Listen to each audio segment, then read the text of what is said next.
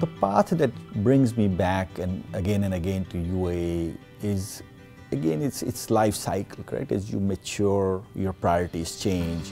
And now at this stage in my life I realize that I need to contribute to the success of others versus just focusing on myself. To help the UAA alumni, one of the things I offer anytime I meet somebody from UAA is to connect with me.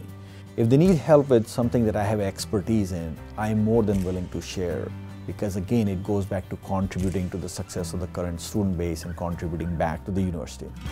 It feels wonderful to me to donate financially to scholarships and meet the recipients of those scholarships and just know that I'm hopefully making their career through UAA just a little bit easier. I have a successful career that was based on my education at UAA and I'd like to give back to the students.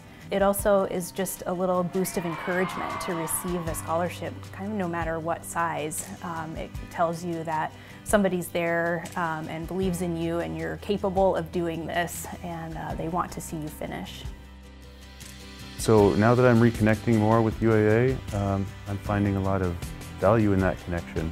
You know, I, I feel like UAA did a lot for me many years ago and now uh, I've achieved something of myself and I can, I can come home and, uh, and give back to some degree to the community.